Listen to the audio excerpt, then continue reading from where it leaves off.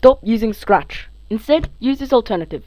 It is very similar to Scratch and uses most of the aspects of Scratch. However, some of its additions don't even come close of ever getting added in Scratch.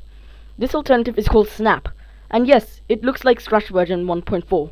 As you further grow in your coding adventure, you will learn that no coding language is like Scratch, like in the sense that no language uses block-to-block -block code. It is all typing. This is where Snap has a feature where you can actually type block-to-block -block code, and this actually increases your ideas. There's also a Python mode, where it changes the code to Python for you to learn. Some disadvantages in Snap include that there is absolutely no community to communicate with and give feedback.